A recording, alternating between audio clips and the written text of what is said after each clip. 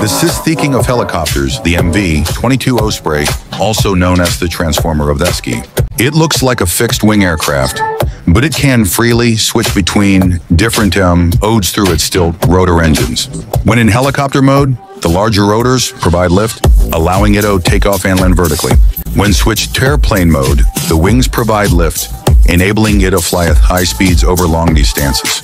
It combines the maneuverability of a helicopter with the efficient cruising performance CO fixed wing aircraft. The Osprey can fly over 3,800 kilometers, with a top speed of 509 kilometers per hour, making it the fastest helicopter in the world D. It was jointly developed by Bell and Boeing, with its first flight in 1989. However, due to the complex tilt rotor structure and hydraulic system, it faced years of technical challenges and repeated testing, undergoing numerous improvements and test flights. It finally entered service in 2000s even, despite early skepticism. Its unique design perfectly meets the U.S. military strategic need for rapid global deployment T.